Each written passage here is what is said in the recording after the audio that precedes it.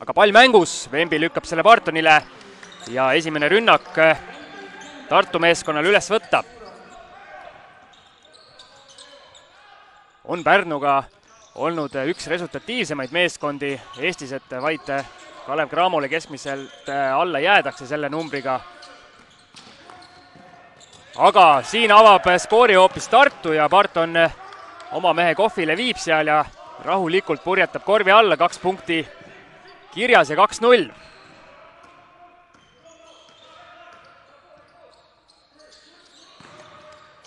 Ja nüüd pärnakad alustavad pallikaotusega, kirvest päris vabanenud veel ei ole ja siis jalad liikusid ja kohtunikud vilistavad selle kiirelt ära, oleme ka kohtunikud võlgu, et äh, Mihkel Männiste, siis peakohtunik Ivo Kitsing, Madis Allik teda abistamas ja siin hea koht äh, soovida palju õnne ka endisele korvpallikohtunikule Timo Suslovile, kes siis nüüdsest äh, Riigikogu liige, et läks Kaja Kallase asendusliikmena Riigikokku. päris kõrge lend, võiks öelda Keila abi, abilinna peale, et korvpallikohtunikust Riigikokku. soovime siis Timole kõik. ja Tartu tulemas.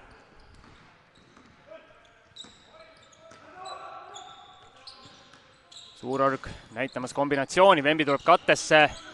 Suurorg Kirvese vastu nüüd jäi ja Kivi nüüd, valge tema peal. Läheb Kivi keskpositsiooni viskele, jätab selle natukene lühikeseks ja Pärnu juba kiirelt palli üle viimas. Valge Vembi vastu, petab Vembi ära ja läheb läbi. punkte juurde ei tule, aga nüüd oligi see ründelaua olukord, Plaus sai sealt upitada, aga ei õnnestu lätlasel palli korvi ajada ja Kivi kiirelt juba vastu tulemas. Barton, Vembi. Saab uuesti palli tagasi ja nüüd vilistatakse see viga, kuigi Tartu pink läks seal Vembit blokeerima ka ja mehed põrkavad seal kokku omavahel. päris huvitav situatsioon aga Maksuuni nüüd Bartoni vastu palli üle viimas. Valge jookseb seal katete pealt maha ja Suurorg kõvasti teda kinni hoidmas oli, kuid viga ei järgnenud. Plaus, Maksuuni uuesti. Jääb nüüd Vembi peale ja sööt Maksuunilt Plausile korvi alla ja lätlane sealt oma vasaku käega kaks punkti kergelt ära tõstab. Maksuuni kindlasti üks säravamaid mehi siin Eesti liiga või Eesti klubide Eesti-Läti liiga mängude esimese hooaja poole peal. väga hästi selle Pärnu mängu joonisesse sulandunud ja teeb nii skoori kui jagab ka palli, aga Suurorg nüüd kolmese peale paneb ja Heiko Rannul. Tiimi mänedžer Juhan Kärp ütles, et ei ole koroonaviirus, et sellepärast kartma ei pea. aga mehed eemale jäid ja aga praegu siis palli kaotus Pärnult ja Tartu päris hea kehakeelega seda esimest peaaegu nüüd juba kolme minutit mänginud on. Tartu poolel nende viimane täiendus Jordan Käps kergelt jalaprobleemiga kimpus pidi olema, aga soojenduse kaasa tegi, mängima pidi ka, ehk siis saame näha, kuidas mehel täna see asi välja tuleb Suurorg ja teeb jooksu. jäi seda tugi jalgas ja Saaremaa mehel käsi kiirelt püsti lendas ja jooksumärgiks siis. Maksuuni palliga, vaatame, kas Pärnul oli time-out'ist kasu ka.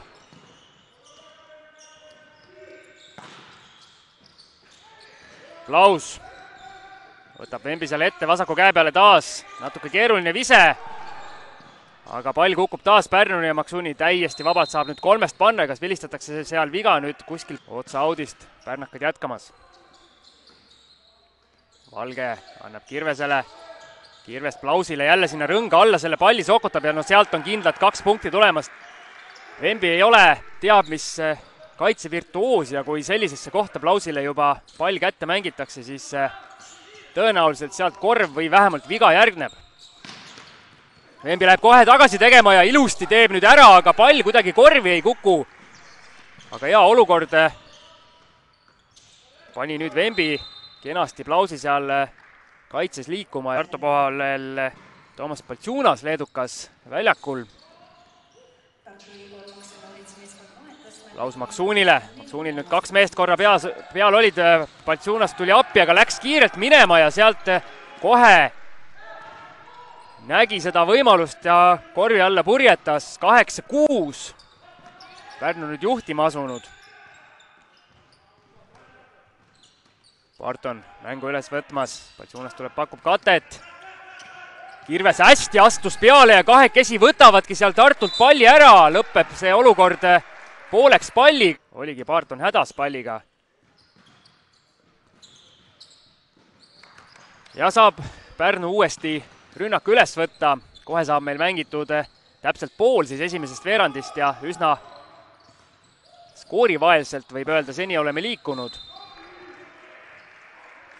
ja ei olnud muud teha, kui järjekordne viga. aga Maksuni ja Plaus siis alustanud kumbki nelja punktiga. Maksuni läheb järjekordset korvi otsima ja täpselt viis minutit veel mänguaega esimesest veerandist oli tablool sel hetkel, kui vabavisked toimusid ja kümme-kuus. Maksuni siis kuue punktiga üle platsi mees. jälle hästi teravalt alustanud. Suurorg. Barton jookseb seal Eelme katte pealt maha, saab palli ka Eelmele tagasi. Eelme Plausi vastu petab korra, läheb keskpositsiooni viskele, päris enesekindlalt nüüd Eelme selle viske võttis ja tunnustavalt kogu Tartu pink aplodeerib sellise soorituse peale ja nüüd kahekesi Maksuunilt peaaegu saadakse pall kätte, kuid Kirves oli hetkel õiges kohas, kuid palli kaotus ikkagi Pärnule järgneb ja vaata puudusest ära puterdatakse. praegu ka ei olnud kõige mugavam sööt Valge jaoks, aga noh, sellisel tasemel korvpallur peaks selle palli ikkagi suutma ju kinni püüda. et Pärnu üldiselt sel hooajal mängimas suurepärast korvpalli, aga kohati jah, tuleb selliseid asju sisse, et siin konkurendid kindlasti mõtlevad, et kui Pärnu veel suudab sellistest pallikaotusest ka lahti saada, et mis siis veel hakkab juhtuma. aga nüüd Baltsunas. kenasti selline power leiab sealt rõnga alt tuleb ja kümme-kümme. ja Jordan Caps võtab soojendustressi maha. saab ka liituda mänguga kohe esimesel võimalusel ja nüüd see võimalus ka tuleb kolm punkti haaras kuus lauapalli ja TalTechi vastu võeti oluliselt paremini kinni, seal sai üksteist punkti. Soome liiga parim skooritegija on olnud siis, alustab kohe pealeviskega, külmalt tulles paneb kohe kolmese peale ja Janar Talts korra seal võttis pea kahe käe vahele kinni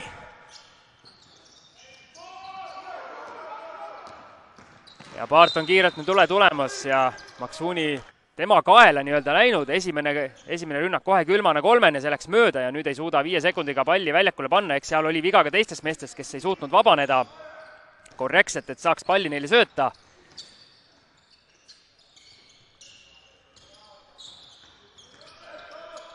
Valge hea lõige, saab sealt keskpositsiooni viskele minna.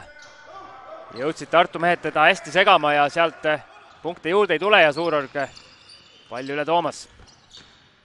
Läheb läbi Surug lõpuni ja palli kahte kätte ei võta, tegi sellise vasaku käega viske, mis läheb rõngast mööda, aga Patsunas ründelauast koristab selle ära ja kaks punkti. Valge saab kiirelt palli ja toob kaks punkti juurde ja nüüd Tartule joosti pärast ise visatud korvi kiirrünnak, mis põhimõtteliselt ikkagi on päris lubamatu ja Barton kaotab veel põrgatuse pealt palli ja tuleb veel kaks punkti ära, kas see on time-out'i koht, aga näeme siin, kuidas Rosenthal Rosenthal korjab selle palli kenasti põrgatuse pealt ära ja toob või algatab siis Pärnu rünnaku. uuesti palli kaotus ja nüüd ei jõua enam olukorrale järgi tartlased ja Kandimaa võtab siin time-out'i ja tuleb sisse selliseid kahekümne viie punkti mänge ja siis jälle piirdub vaid paari punktiga. et üles-alla mehel need asjad käivad, aga vaadates pallikaotuste lahtrit, siis kolm pallikaotust Bartonil ongi seni nii-öelda rekord Eesti-Läti liigas, nii-öelda negatiivne rekord siis, et eh, täna mäng, tänane mäng võib mehe jaoks minna halvas mõttes ajalukku.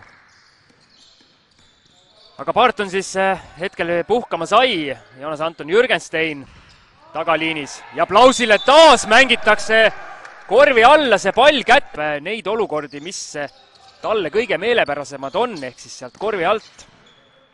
ja suurepäraselt neid olukordi lahendab. seitse punkti, kaks lauapalli, Lauris Plaus on ka Pärnu kapten tänavu.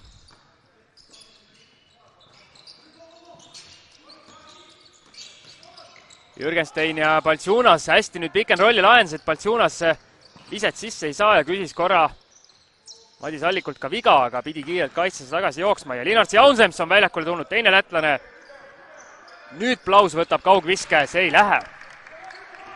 just siis, kui hakkasin rääkima, et Plaus ainult neid asju võtab, mis talle kõige paremini sobivad, siis kohe mees proovib ka kaugelt. Jürgenstein, käps.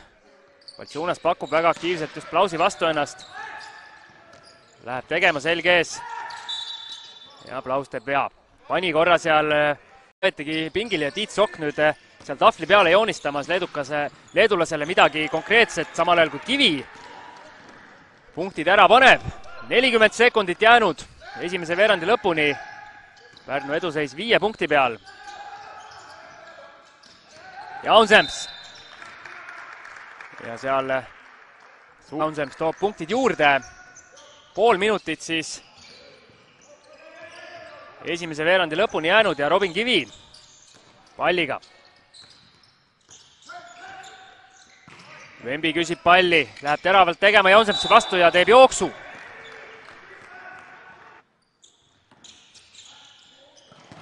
ja Sverre Aav on siin viimasel ajal palju suurema rolli endale saanud, ehk siis eh, ilmselt täna ka mees eh, siin eh, kakskümmend minutit pluss on üsna tavaline tal, ütleme, viimase kuue mängu jooksul neljast on see kahekümne minuti piir.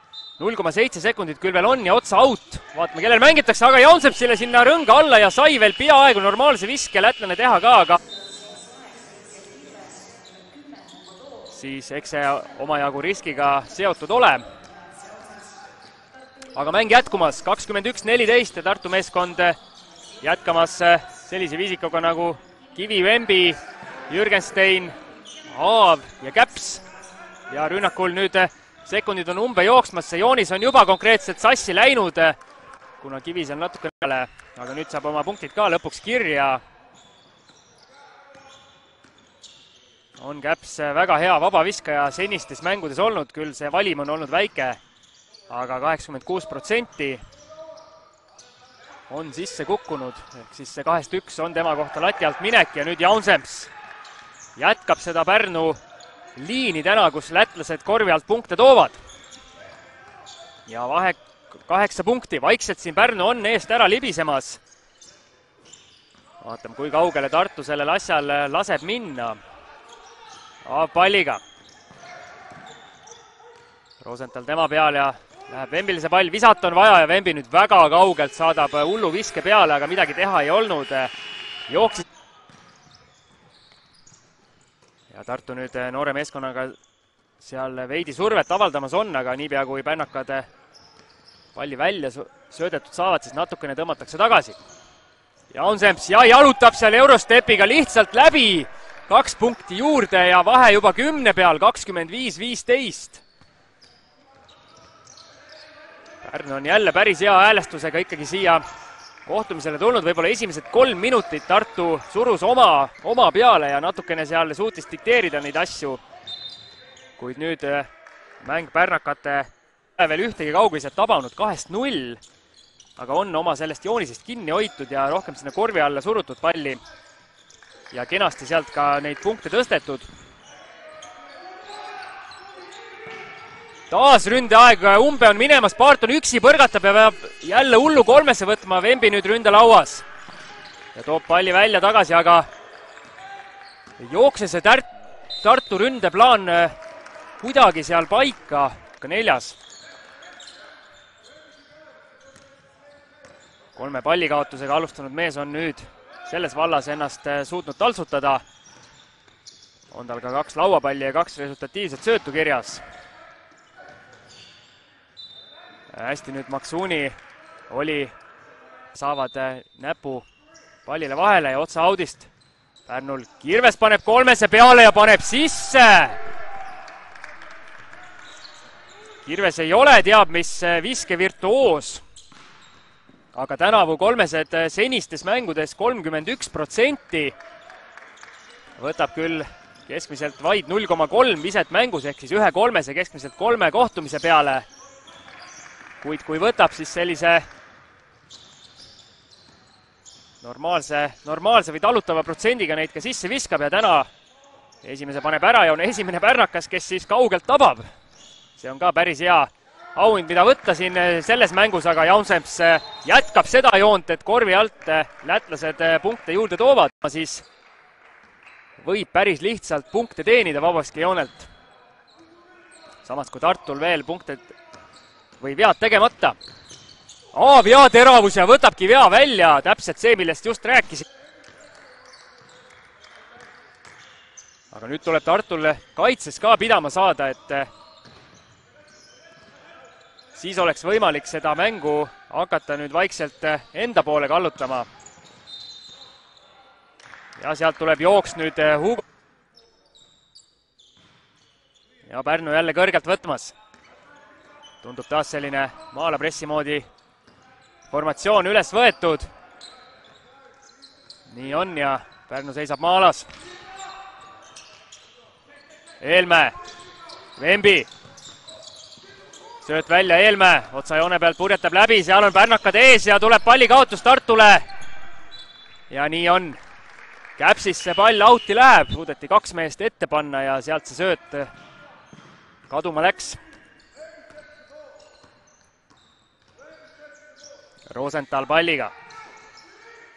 Raap ja nii vaba on Plaus ja Raap leiab kenasti lätlase korvi alt, aga nüüd see pall sisse ei kuku, teise teise kord-, vabaviskeid viskab mees parema käega, aga minule tundub, et korvi alt eh, tahab rohkem vasakuga panna. Ja pallikaotus ja Rosenthal korjab selle, kolmene küll ei taba seal Maksuunilt nurgast, kuid Jaunsems ründelauas, nüüd on, võib öelda küll, Tartu mäng on totaalselt eh, mingil het-, mingil hetkel lagunenud, kuid samas selle jutu peale võtab Tartu omakorda vahelt lõike. Käps pakub ennast alla palli ei saa, Vembi võtab keskpositsiooni viske ja tabab. vahe kaksteist, viis ja pool minutit poole lõpuni. Maksuuni läheb läbi Kirvesele. väljasööt ei olnud kõige parem, nüüd Kirves saab ehitada seal käpsi vastu, pöörde pealt, selline üsna keeruline vise, see ei lähe. nüüd sai Tartu teist rünnakut järjest palli kätte ja Rosenthalile esimene vise oli, tundub, et tööõnnetus. ja Tartu taas kõrgelt pressimas. ka selline maa-ala pressimoodi formatsioon üles oli võetud. Aga leitakse väga lihtsalt seal Mihkel Kirves korvi alt ja viskab kaks punkti ära ja võtab veel Vembi sellise jahukotina selga ka. sealt vilete järgne Tartu juba rünnakul ja Käpp seal pöörab. ei suuda Jaunsepsit üle mängida ja Pärnu väga kiirelt rünnakul, peaaegu on palli kaotamas seal Rosenthal, kuid saab selle õnnega pooleks endale tagasi ja paneb keskpositsioonilt kaks punkti juurde. kiirelt käib Pärnul see asi. Vahe neliteist. ja nüüd hästi käps mängitakse rõnga alla vabalt, vabaks, aga teeb jooksu seal, et on minek vabaviskejoonele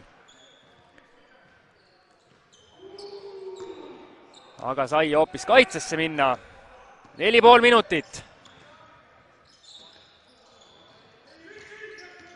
ja siin Tartu poolel vahetusi, kuid mis ei muutu, on see, et Pärnu rõnga alt vabalt neid punkte toob, hästi nüüd pikkade vahel see mäng toimis, kui Jaunsepp see kirves käps pingile.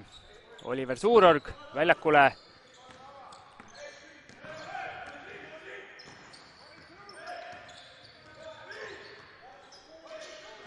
Rosenthal palliga. hästi liigub nüüd eh, Pärnu rünnak ja leitakse Raap sealt nurgast vabana, Raap läheb läbi Kirvesele, Kirves keskpositsioonilt jätab natuke lühikeseks selle viske. ründelauda nüüd eh, Pärnu ei saa. Suurorg kiirrünnaku pealt kolmese koht avanes, see läheb mööda, aga ründelaud Eelmäele. Vatsunas kõvasti seal Kirvese vastu ruumi on tegemas. kuid nüüd nat-, mis sellest olukorrast saab, siin anti pall juba kätte alles hetkel, kui Lapi poiss veel alles väljakut oli kuivatamas. Õnneks Pärnu mehed ise seda märkasid ja out'i sisse kohe ei pannud, aga lootus kohe saab külmalt tulles visata. täiesti vaba koht oli. aga ründelaud taas Pärnule ja Rosenthal purjetab korvi alla, nüüd Lootus ise taas ründelauas. nüüd hakkab see lauapallide tasakaal ka selgelt Pärnu poole kalduma ja Jaunsems, vot nii! Petab täiesti ära kogu Tartu kaitseliini seal ja näitab, et hakkab käest kätte palli ära andma, aga hoopis läheb teravuse pealt, vajutab selle ülevalt alla.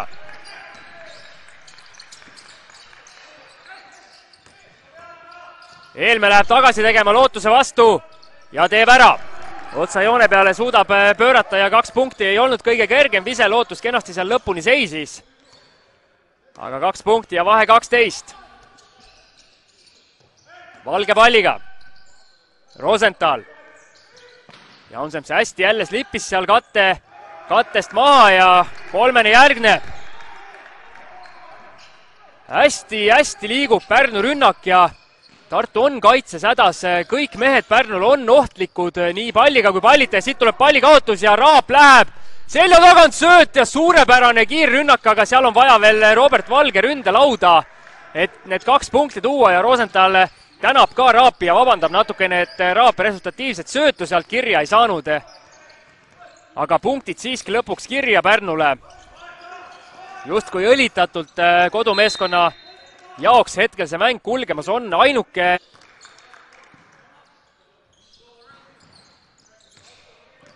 ja vabavisetest äh, natukene vahe väheneb, aga kas siin joostakse taas kiirrünnak, aga ei, sealt pannakse lootusele Käpsi poolt käsi peale päris ilusaks on see mäng nüüd meil siin läinud. Barton realiseerib selle olukorra. see teise veerandi lõpp, päris kena korvpalli meile siia pakutakse ja seda mõlemalt poolt. vaatame, poolteist minutit veel jäänud ja selline lustlik mäng, ma loodan, jätkub meil kuni vaheaja pausini ja Pärnu saab üsna pingevabalt siin toimetada, kuna vahe ikkagi päris suur juba, Valge siin petab, läheb sammu ligemale. koos rünnaku viimase sekundini või viimasel sekundil seal viskas. kenasti kannatati ära, aga vise sisse ei läinud ja nüüd mängitakse Baltsunas jälle kenasti vaba. ja saadakse vahe nüüd kümne peale ja kui siit paar korda veel pall ära võetakse ja ise skoori tehakse, siis olukord siin, või kasutada ühte legendaarset eh, Eesti treenerit ja tema kõnepruuki. kindlasti Andres Sõber meid ka vaatamas on, tervitusi sinna Padaorgu. Maksuuni kolmene, ei lähe. Tartu lauas ja siit saadakse see stopp kätte ja nüüd on väga oluline ise punktid kirja saada Käps läheb tegema, raske vise, ei kuku, kes saab laua?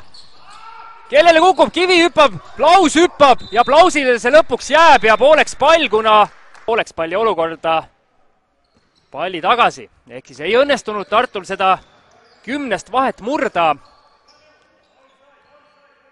aga selleks on veel võimalus, kuna umbes sekundit poole lõpuni kakskümmend, ehk siis nüüd on see mängukella ja viskekella vahel kuus sekundit, vaatame, mis Tartu plaan on, kas võetakse ühese veaga ikkagi maha, nii tehakse ja Käps teeb Valgele selle vea ära. Valge jookseb Plausi katte pealt maha, saab ise palli, annab Maksuunile tagasi. Valge ja täiesti vabaks jääb nüüd kolmese taga ja paneb selle kolmese kotti. Ja vahe ikka kolmeteistkümne peale, see oli nüüd Tartu jaoks kõige halvem lõpplahendus, mis üldse olla sai, Robert Valge, kes on Barton kolmanda tagamängijana, Eelmäe ja Vembi. ja Pärnul äh, Rosenthal, Jaunsems, Kirves, Valge ja Maksuuni. Eelmäe läheb ja viskab äh, esimese ilusa rünnaku lõpetuseks kaks punkti ära. kenasti suutis seal hoida keha tugevana ja rippuda natukene õhus, et äh, korralik vise sooritada. Valge jäi nüüd hätta, Vembi tuli kenasti, astus vastu ja Valge söötis vastu teda selle palli ära ja palli kaotus. Kivi Helmele ei julgenud visata, Helme nüüd kohe, kuigi koht võib-olla isegi oli. Barton läbimurdel ja sealt tuleb palli kaotus ja Rosenthal kiirelt tulemas, söödab Valgele. ja nüüd äh, päris korraliku vea asemalt. ja Tartu poolel Hendrik Eelmäe ja Robin Kivi, need mehed, kellel võib olla siis äh, Eesti koondise peatreeneri Jukka Toiala näpp lõpuks ka pidama jääb mingil hetkel ja kutsutakse ka lõplikku koosseisu, kunagi ei või teada. Vembi, keskpositsiooni vise läheb rõngast täielikult mööda ja kui vaja otsa audist kiirelt viskele jõuda, Suurorg saab päris korraliku kolmese sealt panna, kuid vise sisse ei lähe. Jaunsems käest kätte Maksuuniga, tagasi Kirves, kas paneb teise kolmese täna veel? napilt. kaugel ei olnud, tundub, et Kirves tunneb ennast seal kolmese taga päris mugavalt, et julgelt võtab neid viskeid. Vembi nüüd mängib Kirvese üle ja tagasi kaldel kaks punkti juurde. vahe üksteist. mäletame seal teise veerandi lõpp, ikkagi poolaja pausile läksid kolmeteistkümnepunktilises eduseisus Valge nurgast ja paneb ära. Suurorg natukene hiljaks jäi siin. Valgel kolmesed kahest kaks, neliteist punkti juba mehel koos. tõuseb sellega selgelt nüüd üleplatsi meheks, oli seda enne, enne kolmest ka juba. aga nüüd siis eh, veel suurema eduseisuga järgmiste meeste ees Helme läks teravalt tegema, Vembi, sööt välja, Suurorg saab vabalt visata ja vastab, vastab Valge kolmesele omapoolse kaugviskega. ja Jaunsems nüüd eh, pikalt palliga põrgatamas on. Rosenthal, täiesti tühi tee ja Vembi pühib selle palli küll ära, aga oluliselt Eelmäe jäi seal täielikult seljaga pallile ja ei näinud üldse, mis toimub ja Rosenthalil vaba tee korvile avanes ja Rosenthal nüüd kõvasti survet avaldamas Kivile, kuid Tartu saab palli üle viidud, kuid äh, kümme sekundit juba rünnakut kulunud sel hetkel, kui alles kohad üles saadakse. Barton Valge vastu läheb tegema vasakult poolt. hästi, Valge jõudis kaitsesse ette, Eelmäe kolmene ei lähe. ja Vembi vastu nüüd lauavõitlus, ma tundub, et lätlane tegi kõik õigesti. Ja Vembi sealt vea kirja saab. Vembile on see kolmas ja selle peale saadab, saadetakse ka Baltsunas juba kohtunike laua juurde, et vahetust saada, siin pärnakad jätavad ideaalse Rosenthal puhkama, Hugo Toom platsile Pärnu poolel. Toom siis alustas täna algviisikus, seitse pool minutit esimesel poolel mängis. Eelmäe, ei lähe see kolmene. ja pall jääb Pärnule Tartu jälle kõrgelt peal on. ja Barton nüüd äh, Maksuunit väga surve alla ei pane, aga ikkagi sunnib natukene seal sikksakitama põrgatusel. ja Kivi nüüd liiga ligidale Valgele läks ja niipea kui Valge läbi aga oli küll äh, tartlastele päris, päris valus. ja sellises, äh, ütleme nii, et lihtsas olukorras kaasa võetud oli Klaus hästi kirvesele korvi alla ja Barton jäi nüüd mehe selja taha.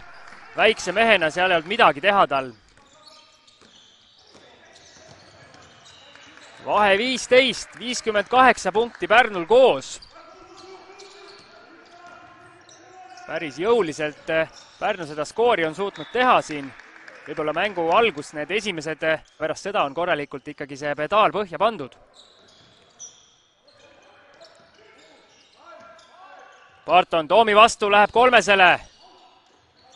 ise jääb vastu rõngast ja Pärnu mehed kindlalt lauapalli endale saavad ja nüüd juba Maksuuni rünnakule viimast tiimi.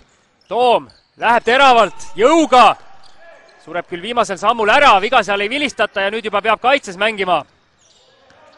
Pärnul vaid üks meeskondlik viga tehtud, ehk siis ühese veaga on võimalik Tartu rünnak maha võtta, kui selleks soov on Barton, sööt välja, Eelmäe võtab kolmese, see läheb. ja Rannula võtab selle peale time-out'i ja pole üldse rahul. Pärnu poolel on kahekohaline punktiskoor käes juba kolmel mehel, Valgel neliteist, Plausil ja Jaunsempsil mõlemal kümme silma. ja napilt-napilt sellest puudu Kirvesel ja Rosenthalil, kellel üheksa punkti mõlemal. Valge Kirvesele ja Suurorg hoiab Kirvesse ja kuna Tartul vead täis ja Pärnul alles üks meeskondlik viga siin veerandil, siis on võimalik vabavisete osas järele tulla vastasele. Aav nüüd head, head teravust tegi, aga Plaus seal kenasti seisma jäi ette. viga seal ei näinud.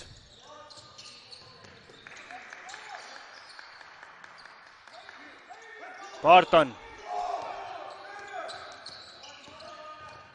peab seal kõvasti põrgatama Barton, et viskele pääseda ja paneb nüüd kolmese ära. esimene kolmene ka Bartonile täna, kolmest üks ka temal neljateistkümnest neli Tartu kolmesed täna. Barton tõuseb samuti üheteistkümne silma peale. ehk siis püsib praegu Tartu mängus. Maksuuni ei lähe, aga Kirves korjab lauapalli ära. lauas ei ole, kui eelmises omavahelises kohtumises. Kirves paneb kahest null, ehk siis väike kingitus siit Tartule aga siit on äh, tartlased kohe kingitust ka vastu tegemas, aga Barton kuidagi suudab ikkagi Rosenthali vastu selle palli valdajaks jääda. nüüd jääb Karpi, aga suudab äh, sööta Eelmäele, kümme sekundit rünnata, Eelmäe läheb Kirvese vastu tegema, petab ilusti Kirvese ära, aga vise ei lähe. Aav saab ründalauast palli. Baltšunas, Suurorg, Maksuuni vastu. palju põrgatamist on Tartu rünnakul ja need äh, visked tuleb kõik tartlastel ise välja mängida, seekord Suurorg tabab ja toob vahe ühekohaliseks ehk üheksa peale. Pärnul Kirves nüüd vastab ja vastab äh, kaks pluss üks olukorraga. vaatame, kuidas nende omavaheline keemia siin toimib, aga võib öelda, et äh, Kirves, Jaunsems, Plaus äh, pikkade meestena kõik päris hästi seal kokku mängimas on, jagavad ka omavahel söötu ja liiguvad kenasti. kolmene Tartult, lühike, aga Aav ise oma viskele ründelauda järele läheb. Kivi keskpositsioonilt, lühike, väga lühike, jättis seal kohe kolmesel viskamata, tegi endale keerulisemaks olukorra. Rosenthal, Jaunsems, Raap, Toom, Plaus ja Jaunsems rõnga all koha sisse võtab. kolme Tartu mehe vastu seal raskele viskele, see ei lähe Suurort kiirelt palli üle viimas.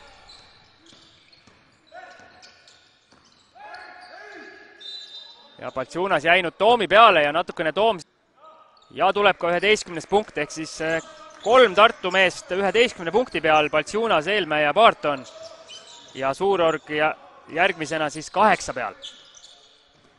Rosenthal, and roll seal Plausiga, Plausil nüüd ebavõrdne vahetus seal Suuroruga, aga palli ei suudeta anda ründelauas taas pärnakad ja Rosenthal oma viske ära korjab, kuid kaotab ka palli. kiirrünnakust asja ei saa Tartul ja Suurok saadab nüüd eh, mehed rohkem laiali, kõik neli meest sinna ühele äärele kogunenud olid.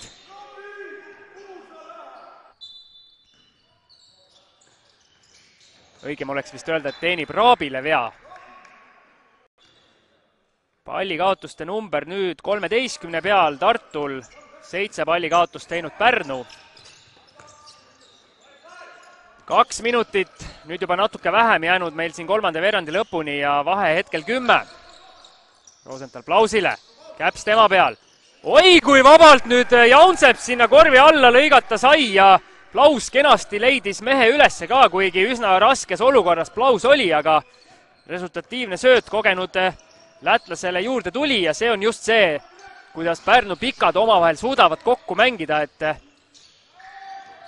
lõigatakse õigel ajal ja need pallid liiguvad õigel ajal õigesse kohta. Jansepsin siis eh, kaksteist punkti nüüd. ja Pärnu juba uuesti tulemas on, Raab söödab nurka, Rosenthali kolmesele pannakse käsi peale, Rosenthal saab palli tagasi Maksuuni võtab ise viske, ei lähe. ja Suurorg palli üle viimas.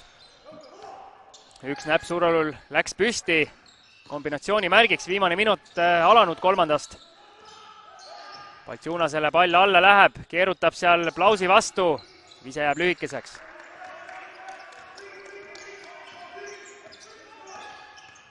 Veiko Rannul seal oma meeskonda ärgitamas on kõvasti väljaku ääres.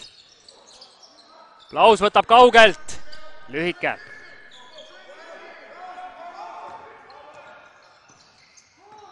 ja natuke rohkem kui ühe rünnaku jagu nüüd siin sekundeid mängukellal on. aga Tartu tundub, et on üsna lõpuni üritamas seda veerandit mängida. Käps võtab kolmese, ei taba. Jaunsemps ja kümme sekundit nüüd jääb Pärnule, korralikult saavad siin rünnaku üles võtta, Jaunsemps läheb ise tegema. sööt välja, kena sööt Plausile ja sealt kindel viga tuleb.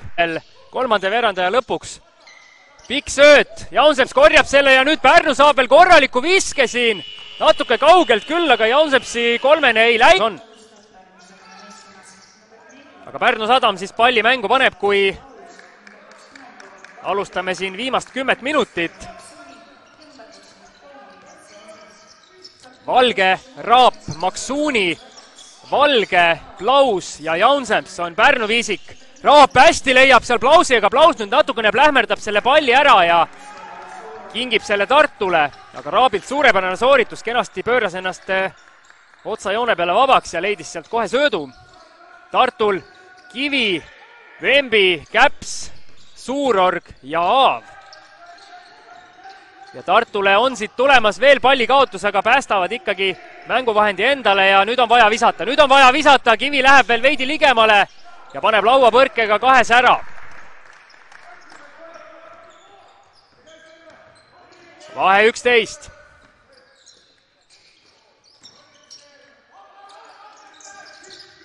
Maksuuni Raabile, Raab söödab alla, Klaus pressib seal Vembi täiesti rõnga all ära ja seal Vembil nüüd jalad läksid ikka väga nõrgaks, Plaus ei pidanud isegi väga palju vaeva nägema, et sinna rõnga alla välja jõuda. kaks punkti juurde ja vahe taas kolmeteistkümne peal.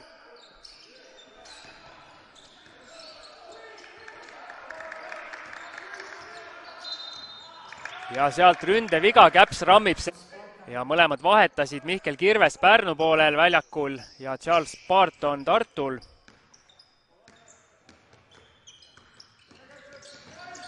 Maksuuni palliga. Valge võtab kolmese, jäi seal katte tagant tulles üsna vabaks ja sellest ruumist Robert Valgele loomulikult piisab kolmest kolm täna kaugelt ja seitseteist punkti. Valge on taas täiesti head mängu siin kokku jälle panemas. Vembi nüüd läheb omakorda Lausi vastu tegema, aga sealt sööt välja Käpsile. Käps nüüd kuidagi ei saa neid äh, viskeid sisse. Käps visked väljakult viiest null. ja Kirves keskendub ja taas kahest üks siis.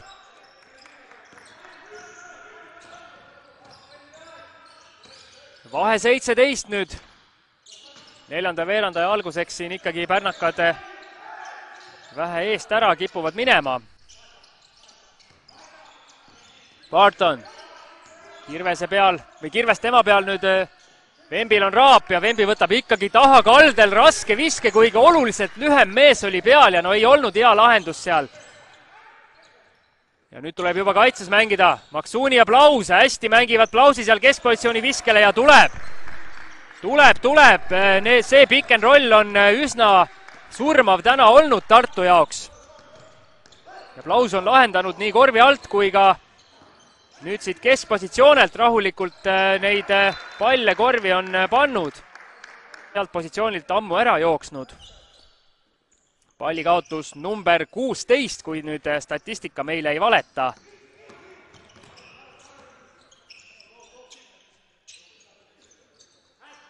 Ja siit korv ja see vahe rebeneb juba üle kahekümne punkti. Maksuuni.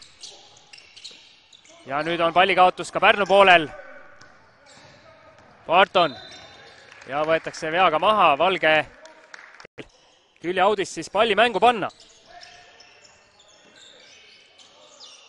Kivil see pall läheb ja uuesti Eelmäe võtab nüüd kaugelt kolmese, ei lähe. Rosenthal lauas. Kirves toob palli üle ja läheb kohe Eelmäe vastu tegema ja risti üle käte sealt tuleb. ja kahest null, aga Rosenthal taas ründelauas, no see asi läheb ka nüüd ühte auku, kolmeteistkümnes ründelaud. Plaus eksib ja lõpuks Eelmäe ikkagi kaitses laua maha võtab. seal mehi nüüd kukub, kuid palli kaotus Tartule ja Valge kiirelt üle. Kirves, Maksuuni. ja sealt tuleb viga, see on Tartul oli selili maha ja sealt see higilaik sinna väljakule tekkis aga juba teisel pool Pärnu ründamas ja Kirves taas kolmesel ja paneb sisse ja seal nüüd Baltsunas võetakse kohtunike silme alt väljas, natukene Plausile kõigepealt tegi ja siis lätlasel natukene plahvatas see asi. Igatahes siin teravust mängu on tulnud, vabaviskelt eh, saab ju ainult ühe punkti korraga, aga kolmese joone tagant koguni kolm. nii et Kirves seda asja jagab. ja Kirves ka nüüd tõusnud kaheksateistkümne punkti peale ja kanne ime, et sellega ta on eh, tõusnud üle platsi meheks täitsa märkamatult, et see on see, kui kolmeseid hästi viskad, siis tuleb ka palju punkte kokku. Valge palliga läheb kivi vastu tegema, pressib ennast kenasti seal korvi alla ja toob kaks punkti ära. seitsekümmend üheksa, viiskümmend kaheksa, vahe kakskümmend üks, Baltsunas Karl-Martin Kask on toodud korvi alla ja Kask nüüd paneb oma suure kere vastu ja Baltsunas on pikali maas. nüüd juba Baltsunas teisel pool pikali maas, kõva võitlus käib. Pärnu täna üle olnud ja need kaks kategooriat, kus Tartul on eelis, on vabavissete tabavus. seal on eh, Tartu visanud kaheksakümmend viis protsenti, Pärnu kuuekümne kaheksa vastu ja siis Tartu on pannud kolm kulpi ja Pärnul selles lahtris hetkel veel null, aga kõik ülejäänud lahtrid on enam või vähem Pärnu poole kaldu. ja sealt tuleb ka see kahekümne ühe punktiline eduseis, ehk siis kõiki asju on tehtud veidi paremini kui vastane. Siin on lähedal tagasimäng Hugo Toomil, aga seda ei tule.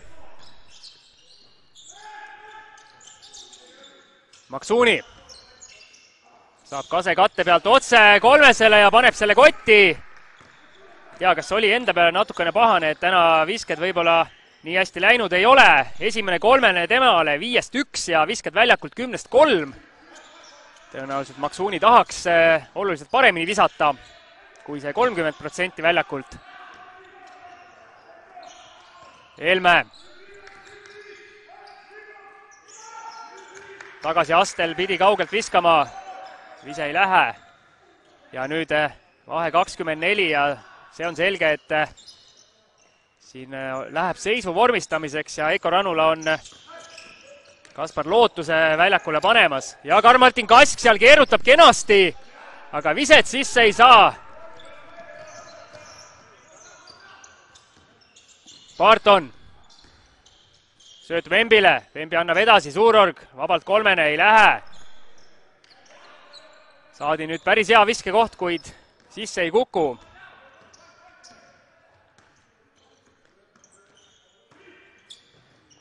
Rosenthal. Kask läheb taas Vembi vastu tegema, prõmmib kõvasti, taas vise mööda. ja on enda peale üsna pahane Kask seal. Ja Jaunsempsilt nüüd supersooritus Bartoni vastu, kaksteist punkti küll Bartonil, viis resultatiivset söötu, aga seitse palli kaotust, see on ikkagi mängujuhi kohta katastroofiline number. ja nüüd, kas Kask saab oma esimesed punktid, mitte veel, selle tabamuse peale.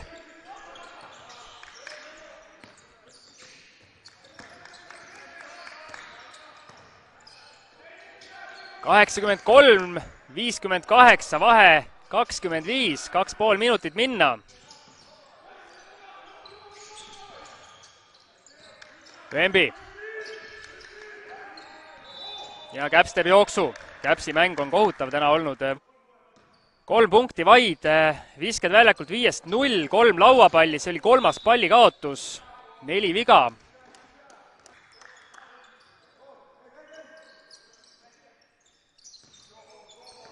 Rosenthal nüüd eh, palli jälle üle toomas on, leiab sööduga Raabi ja Kass nüüd korvi alla saab ja tõstab, ei tõsta seda kahte punkti ja taas selline lihtne vise, Kasel mööda läheb. mees on saanud kõvasti seal rõnd, rõnga all nüüd eh, mõne minutiga, mis ta väljakul on olnud, proovida. tahtmise taha ei jää mehel kindlasti midagi. kas paneb ka kolmese peale? ei, Vembi jätab talle küll kõvasti ruumi, kuid Kask sealt peale ei viska. Rosenthal küll viskab. seekord jätab panemata. Raap võtab kaugelt kolmese, ei lähe. Vembi lauas, poolteist minutit jäänud ja vahe kakskümmend kolm.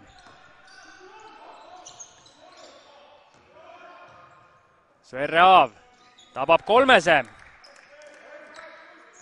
viie punkti peale tõuseb Sverre Aav, kahest üks kolmesed. Kask palliga. ja sööt Rannar Raabile ja võib öelda, Pärnu veteranid pakuvad siia ühe ilukorvi ka ja Pärnu pink tõuseb selle peale püsti, peatreener Rannula laseb korraliku naeratuse ka näole. Vembi toob kaks punkti juurde ja viimane minut meil käimas. Vormistatakse lõppseisu, praegu ilus ümmargune kaheksakümmend viis, kuuskümmend viis väljakul, kohtunikud võiks siin selle lõpuvile anda, saaks ümmarguse lõppseisu. aga siin kaotavad pärnakad veel palli. kas saab sealt keegi veel ploki kirja, mis võiks minna rahulikult kuskile top viide ja kui Pärnu saalis oleks publik, siis publik oleks kindlasti sellise asja peale püsti tõusnud. aga kindlasti tõusid Pärnu suuremad fännid selle peale püsti koduse arvutikuvari ees. Rannar Raap palliga uuesti nüüd Kasele. tahtis sõbrale siin söödu tagasi panna ja Kass on jäänud Pärnul rünnaku lõpuni ja hästi leitakse kast nüüd korvi alt ja Raap on taas sööduandja ja Raap ja Kask nüüd siin viimastel minutitel Pärnu kangelasteks kerkinud. Omavahel seal söötu jagavad ja punkte toovad.